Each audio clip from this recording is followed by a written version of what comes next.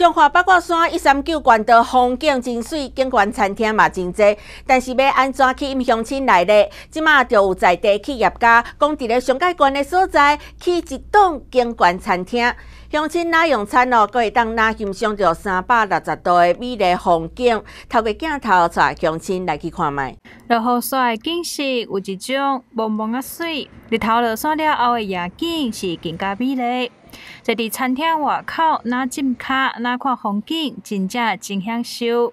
就可以看到两边的，应该说两边的风景，市区。除了美景以外，餐点也是这间景观餐厅的特色。业者选用辣木、马卡等有超级食物称号的食材来做料理，强调纯天然、无添加，消费者是真饿乐。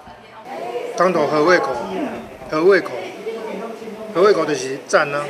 嗯，然后有没有觉得景也很漂亮？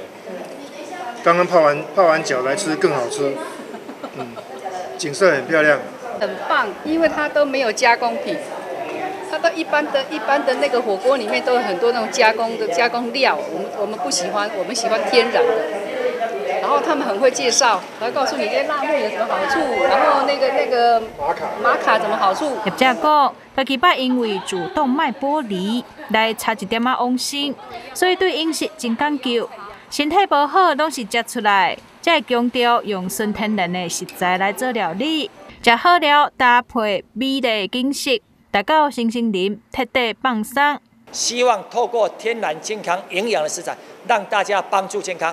病从口入，不要发生，是健康从嘴巴进来，让我们每个人都健康。拥有三百六十度的超级景观，可以看到那个引领、彰化、整个台中、南投，也可以看到玉山、合欢山、九九峰。因为关岛一三九线的风景真美丽，苏先生讲。家己是中华人，一直想要回馈故乡，投资中华。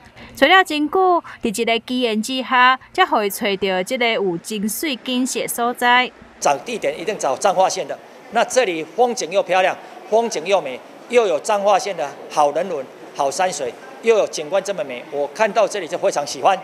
我希望这里能够带动整个八卦山山脉幺三九路线整个景观。整个观光业，这个有三百六十度的景观的餐厅也未正式开播，不过一寡是门是路的民众，拢赶紧先来享受美食、看美景。不管是单纯来浸卡看风景，或者是来食超级食物，相信这个所在会成为一三九线顶头的地标。大中华新闻刘世良分享采访报道。